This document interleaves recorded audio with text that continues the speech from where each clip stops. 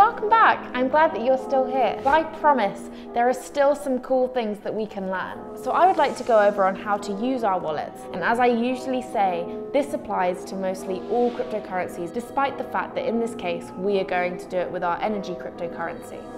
So come on, let's master this thing. Now this episode is structured like this. Number one, how to use our wallet. Two, how to check our balance. And three, what is the Block Explorer and how to use it to track our transactions? Okay, let's see how our wallet works. It's very intuitive. I'm pretty sure you can already see some familiar words like send, receive, transactions, for example. Okay, so what do we have here? This is our balance. This is how many E's we have. That's pretty much all there is in this tab. It is very simple and clean. This is the coin mixing feature that I explained in the Energi cryptocurrency episode. We're not going to need that for now. Let's see how we can send E's on here. Let's click on the send tab. All right, here we are in our sending zone. Guess what you have to type in here? The Destiny's address. Here, I have my good friend Helen. I asked for her Energi address. Let's send her some E's. We'll make her happy. Let's copy her address. All we need to do is paste her address here on the top and you can add a label if you want. I'm going to put a label so I don't have to ask her again. It will save it onto my contacts list. And here we have to type the amount. I'm going to type 10 E's. This is the private send feature. You can click it if you want to keep your address private. Now, if you really want to send it at the speed of light, click check the instant send box. But regular transactions are pretty fast anyway, so I'm not going to check that. Plus, it has a tiny additional fee we don't need to pay. So all I do is click on send. Voila! In probably less than a minute, she will receive them. Do you understand why so many people are starting to use it?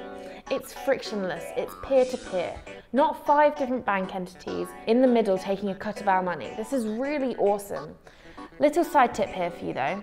What I do is I make a list of the addresses I use regularly, like my email contacts, so I have quick access. You can make your list by clicking here and filling it up with your contacts' Energi addresses. You paste the address of the person you want to add, always verify the tips of the address like I showed you in the security measures previous episode, then type the name you want and okay. Let's see how to receive payments now, which is funnier than sending payments, isn't it? Well, it's so easy. You can A, give them the address you already have, the one we made together, because it will land here in your wallet. Or B, click this little button and it will create a new address. This is your desktop wallet, but it can have multiple receiving addresses inside of it and they will all arrive to your total balance.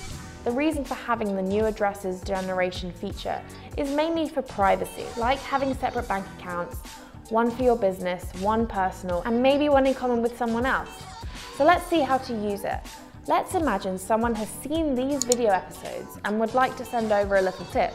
So I would type here, my little tips address as a label for this address. You don't need to put any amount. Remember, this is just for you. So let's leave that empty. Here, you can type a longer description like my little monthly bonus, for example. By the way, this was just an example. If you want to tip me for my work, just share these video episodes. Like that is the best gift for the Energi community. Then when you click on request payment, it shows you the address you need to provide. This is the address you need to share to receive payments. You can close it as you have it here. This is the address, not that one. Now, let's move on to the transaction tab. This is your transaction history, the payments you have received and the payments you have done. So this is the date when it was done and this is the type of payment. Did I send it or did I receive it? And this is who I sent it to and who I received it from and this is the amount.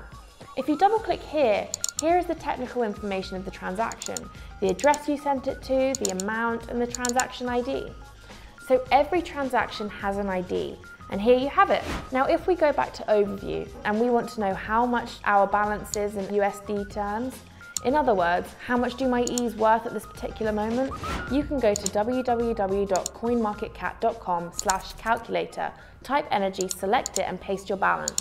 So right now, my ETHs are worth this. Its value is related, among other things, to the size of its community and to its usage. Don't panic if it goes down for a few days or even a few weeks. It happens all the time, so practice the hodl style as we real crypto investors do. Now, most cryptocurrencies have block explorers, and it's an instrument to see things directly into the blockchain network. It allows you to see things like the current status of a transaction. Now let me put you an illustrative example. So think of it like a FedEx package that has its tracking code that you type online and shows you the current status, such as sent, on its way, or delivered. Now let's have a look at Energi's Block Explorer by going to explore.energi.network and let's directly copy Helen's address and paste it into the Explorer search box. Do you see the 10 E's? That's the coins I sent her, and she can see that too. Now that you know all the necessary things of cryptocurrencies, you shouldn't stop here. I suggest you keep your learning journey. This is why the next episode is going to be quite different from the previous ones. But that's it for this video. I hope you enjoyed the whole process. If so, please give me a thumbs up and let me know in the comments if you like your new bank, if you like this clean bank format, or if you missed some features you would like to see implemented. I'll see you in the next episode with more information.